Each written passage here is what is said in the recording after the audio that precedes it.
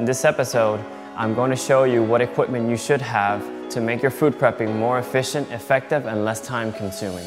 Choosing good quality products can get pricey, it can get expensive, but you also have to, you have to look at it as a long-term investment because if it's a good quality product, it's gonna be with you for a long time. I'm talking about years. When you choose your pots and pans for your food prepping, always pick something that you can make food in a massive level. Like for example, here, I use this one especially to make my own recipe, the Gabriel turkey balls, in this one massively, and I'll have turkey balls for two weeks. So here you have the example of quality pans. One is quality, one is not.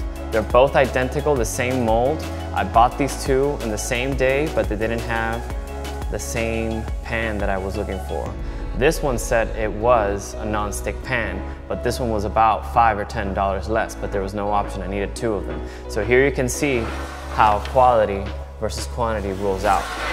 Here I have what's coming up now, it's trending a lot now, are ceramic pans here. This one's pretty new, I've only used it once. It's wonderful. For cooking fish, it absolutely does not stick. Now you have to be a lot more careful with this one. You cannot have no metal, you cannot have anything solid hit in the middle because it'll crack it and it goes to the trash. So you have to be really, really fragile with this one here. Now here is a chef restaurant caliber style pot. This one's very durable. They're expensive, but this will last a long time.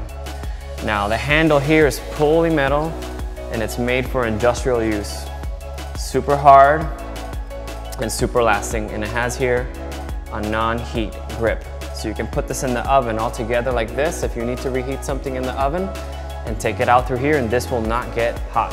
This will always maintain the cool.